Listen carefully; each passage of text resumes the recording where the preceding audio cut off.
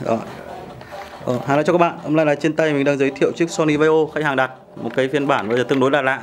Sony uh, bây giờ chỉ sản xuất những những uh, nhánh sản phẩm cao cấp thôi.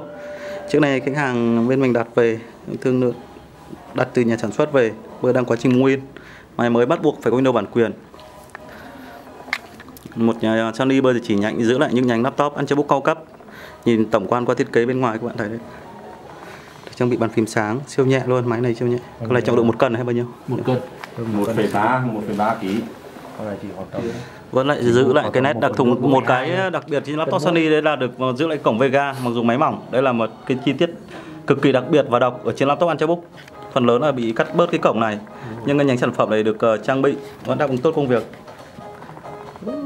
Focus hơi chậm tí mới quay mới hạnh đây. Chưa lấy được giữ lại cái nét đặc thù nguồn màu xanh của Sony.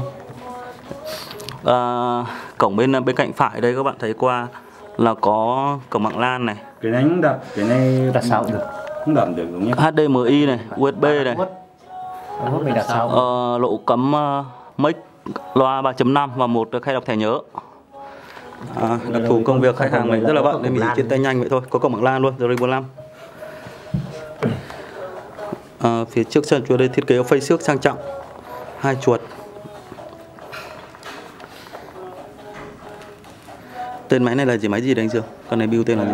Vai OS uh, và iOS con này là F20 F20 hết mệnh bá chứ cái cái cái mã ấy mã hàng cái mã hàng của nó ấy. đây mã, mã hàng đây model máy đây các bạn đây đấy.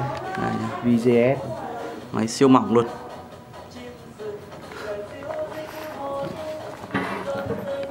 ở đây là cái sạc ổ 256 chứ không phải ổ 28 nữa không cái phạt đấy không cái giá thị trường trong chứ còn Ờ, tổng quan à, phía bên sau. giá cho nó tốt với thông tin đặt đấy.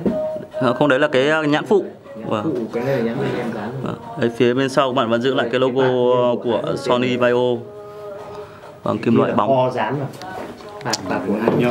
còn à, chi tiết phía bên dưới thì chút nữa mình sẽ giới thiệu sau về đặc thù máy này khách hàng bên mình cũng đang rất là vội nhưng là chỉ có thể lấy hình ở bên ngoài này thôi. Còn đây là đặt sau mới về không có thời gian trên tay và đánh giá chi tiết.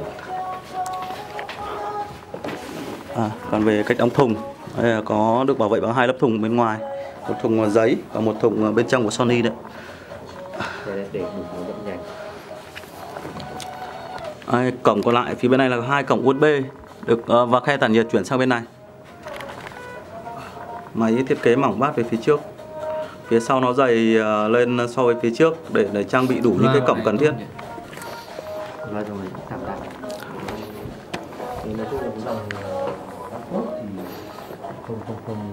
ờ, máy này thì trang bị cấu hình như nào anh chưa mở một vừa property này Ờ, i5 6200 mở cái ấy RAM 8 GB ổ xích cứng. cứng ờ, như thông tin mình nắm được là máy này là được trang bị cấu hình Core i5 thế hệ thứ mấy 6 sáu. Core i5 6200U RAM ờ, 8GB ổ cứng SSD 128 đây quá trình nguyên màn hình 50 GB nhé màn hình Full HD và trang bị webcam luôn. Camera. Đây là quá trình ờ, thao tác tay kỹ thuật đâm uh, triệu ổ cứng. Đây, tổng quan về sản phẩm Sony cao cấp à, làm chào các bạn